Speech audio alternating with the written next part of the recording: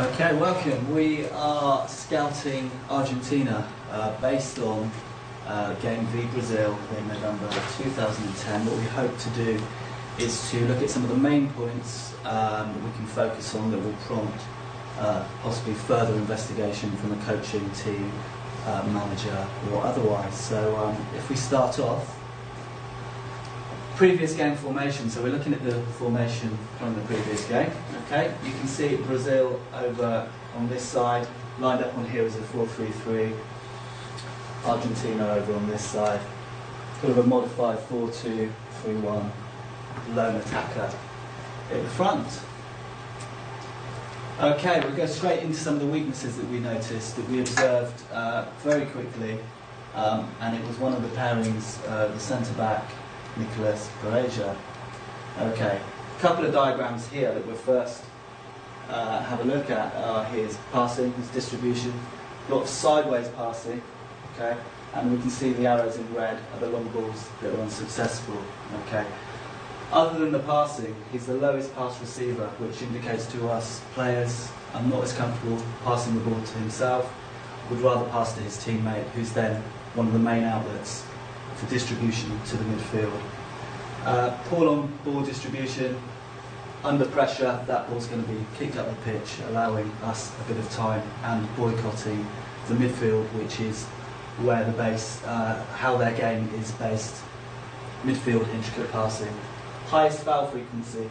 We can see here whether it's pressure, whether it's tracking back, being in a bad position, and these are all dangerous free kick areas for the likes of some of our players. So um, we can attack and move the ball towards this player, we have a much higher chance of creating something. Pressure is what we want to apply on this particular player. We want to be aiming some of our um, balls towards him. If you see there, there's an example of his pull long ball under a bit of pressure. Here, he has option on his right, passes it straight to one of our players. So, two examples of what we're talking about. Directly attacking this player uh, as opposed to the other centre back, um, and applying as much pressure as we possibly can, not allowing him the time to think about what he's doing and to uh, release the ball. For training suggestions, we're looking at a small pitch, high intensity play, and uh, pressuring opponents, not giving them time on the ball and cutting off options to other uh, more able in terms of small passing and distribution into the midfield.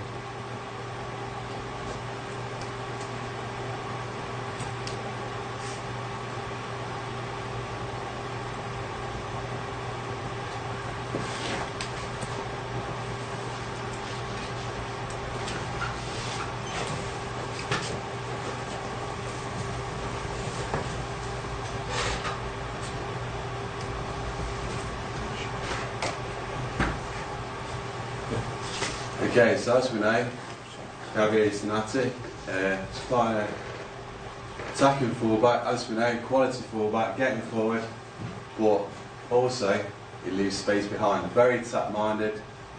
Also, with Argentina, very narrow, so you can explore them areas in and behind. And as I said before, previously, leading Pereira, nice and exposed, making him the last man in for the challenge and exploiting them gaps. So when Zanetti goes up, what we can do is exploit the gaps, get into the areas and target them spaces. Also, because we know Zanetti hasn't got that much particular end product, we can invite him to go forward into the areas and try to encourage predictable play and make them narrow. Uh, as I said before, put Pereira under pressure to make the challenges, as you see in the video. Um, so prayer and space equals an opportunity to attack. Uh, training suggestions would be forward runs without the ball um, and counter-attacking movements. So whether that's four and four situation or two and two, uh, it will benefit us for the next game. Uh, however, bear in mind, Zanetti is a strong attacker.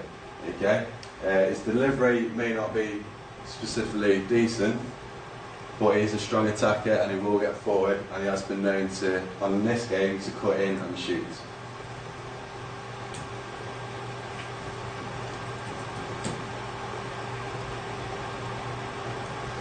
Okay. Also, another problem, maybe Javier Mascherano. What he does, sits just in front of the defence, possibly even centre back, and there's a short passing sequence to Banega. As you can see, he's got plenty of time on the ball in the video. But the positive thing is, everyone's marked up. If we can force a predicted play, we can force through defence, we can have this all day. Over the top, goes out of play. Everyone's marked up, make it predictable, make a force play, and not get into the triangle sequences between Banega, uh, Pastore, and Messi. Also, as you can see in the chart, Mascherano, the amount of time he has on the ball is far more significant to the amount of time that a team has on the ball in an average scenario. So, if we can close down Mascherano nice and early, then the effect we can have on him also another player. So if he passes to another player, even if it, even if it's an accurate pass, uh, another player might be out of position because they haven't got enough time to recover and get in position to create the angle. Um, so plenty of pressure, plenty of uh, uh, application on the ball to try and reduce the tempo and also be aware of gamesmanship. Mascherano was the most foul player in the game, so make sure no gamesmanship and plenty of clean tackles. Uh, as you can see here, just as I mentioned previously, the attacking triangle. This is illustrated by the three players here, Banega, Messi and Pastore. Okay, so Messi tends to take the right hand side of the channel where there's imbalances, that's why Zanetti comes around the outside. Okay, and then you've got Pastore just in front and behind Higuain and Banega who links in with Mascherano in the passing process. So, like I said before, you start Mascherano, who can follow on to break down a triangle or even prevent a triangle. So in this scenario, the table illustrates Pastore and Banega linked with Messi have the most passes between each other, forcing a triangle. Okay, it's short, intricate passing, nice and quick, and it's mainly down in central areas. Okay, so try and encourage to play on the wings, because as we know, Di Maria has hardly got any crosses in, and when the crosses were getting in, they weren't very such of an end product. Okay?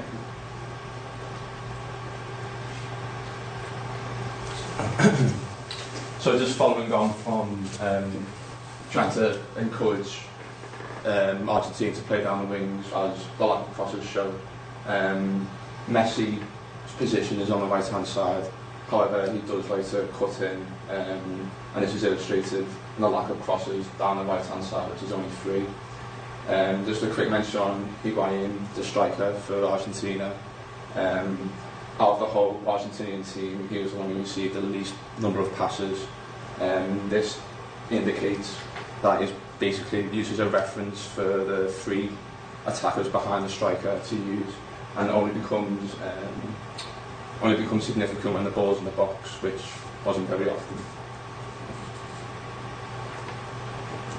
So obviously, Lionel Messi, key player for Argentina, but how are we going to overcome him? Um, this figure here shows that Messi actually does not receive the ball on the outside of the pitch. He actually is always on the inside, um, as these arrows show. So if you just go clip, it's a quick example.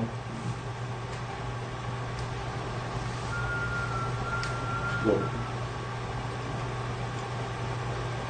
So as a coach, you can maybe say to the fullbacks not to show the play on the outside of the pitch, the, the inside, to show on the outside to rather get crosses in rather than getting balls into Messi because Messi is hanging around the penalty area and will do things from there.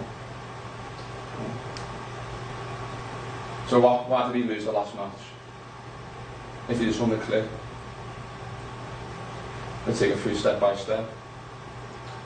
So lost possession in the middle of the pitch. Santos, our left back, has exposed himself high up the pitch. Ball runs. We've got a large gap between the defence and midfield. Dani Alves, Santos have pushed up. And as we can see, we've exposed our centre halves.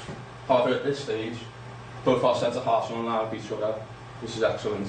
However, if you want to clip forward, and as a striker moves across, our centre half follows the run instead of standing on line with David Luiz, that creates a gap for Messi to run into in order to take, the shot.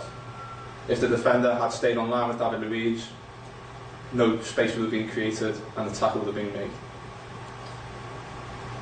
And to end with, just uh, edited formation from the from, from before the match. Um, from our back line, we have pushed forward in order to, we've identified that we need to um, create less space between the midfield and the defence. Um, using Elias, pushing deeper in order to make it more congested in midfield.